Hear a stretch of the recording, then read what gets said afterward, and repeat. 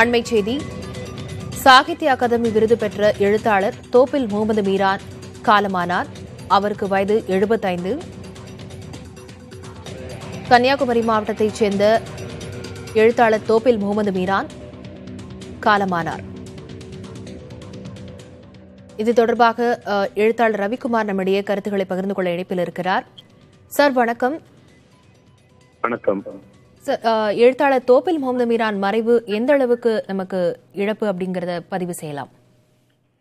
தமிழ்நாட்டின் தென்கோடியில் பிறந்து தான் வாழ்ந்த அந்த சமூகத்தை பற்றி அந்த மக்களை பற்றி மிக ஆழமாக தன்னுடைய படைப்பில் பதிவு செய்த திரு மீரான் அவர்களுடைய மறைவு தமிழுக்கு உண்மையிலேயே மிகப்பெரிய இழப்பு என்றுதான் சொல்ல வேண்டும். ஏனென்றால் அவர் பிரதிநிதித்துவப்படுத்திய அந்த பகுதியை அந்த மக்களை இன்றைக்கு எழுத்தில கொண்டு வருகிற அடுத்த தலைமுறை எழுத்தாளர்கள் எவரும் இல்லை என்பது அவருடைய இழப்பினுடைய மிகப்பெரிய அஹ், துக்கத்தை அதிகரிக்க செய்கிறது.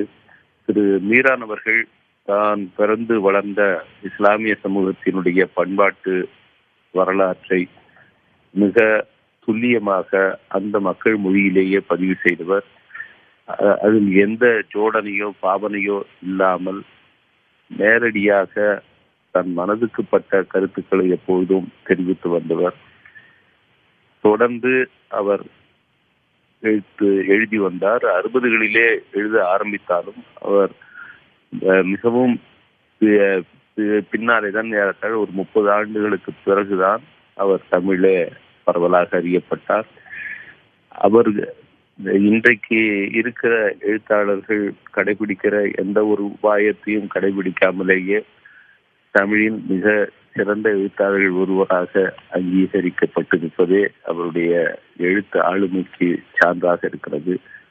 முகமது மீரான் அவர்களுக்கு என்னுடைய ஆழ்ந்த அஞ்சலியை தெரிவித்துக் கொள்கிறேன். இணைப்பில் வந்து கருத்துக்களை பகிர்ந்து நன்றி திரு ரவிக்குமார்.